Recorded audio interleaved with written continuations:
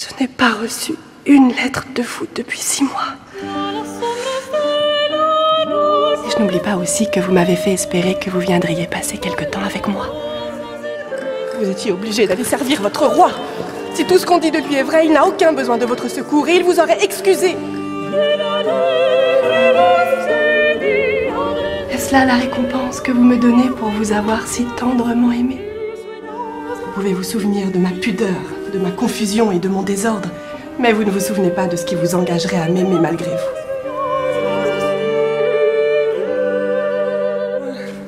Qu'est-ce que j'ai fait pour être si malheureuse? Et pourquoi avez-vous empoisonné ma vie?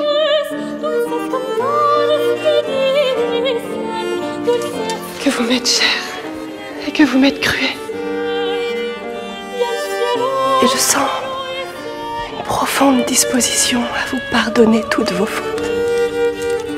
Si quelque hasard vous ramenez en ce pays, je vous déclare que je vous livrerai à la vengeance de mes parents.